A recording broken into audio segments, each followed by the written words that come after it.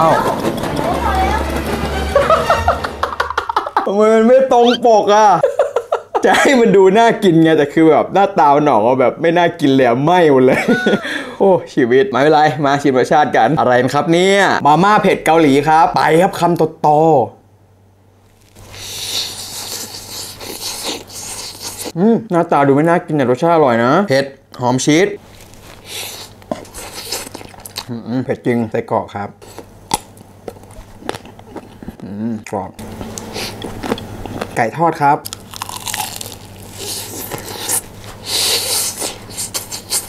เข้ากันอะไก่ทอดกับมาม่าไปกับคำโตๆแล้วก็ที่เป็นเอกลักษณ์เลยอะชีสเขาจะมีกลิ่นคล้ายๆแบบแก๊สด้วยครับ คลิปอะไรวะเนี่ยแล้วเพื่อนๆดูความไหม้ของตอนเผาเมื่อกี้ดีครับอื้อหือดูไม่น่ากินเลยอะก ลิ่นหอมชีสแล้วก็หอมแก๊สหอมไหม้มาขออีกคำเดียวพอละกลัวเข้าโรงพยาบาลเข้าโรงพยาบาลเขาเผ็ดเพราะชีสชีสใหม่ไปครับคำโตๆปิดท้ายฝากกดหัวใจและกดบวกติดตามโค้ชหน่อยนะครับ เจอกันคลิปหน้าครับ บ๊ายบาย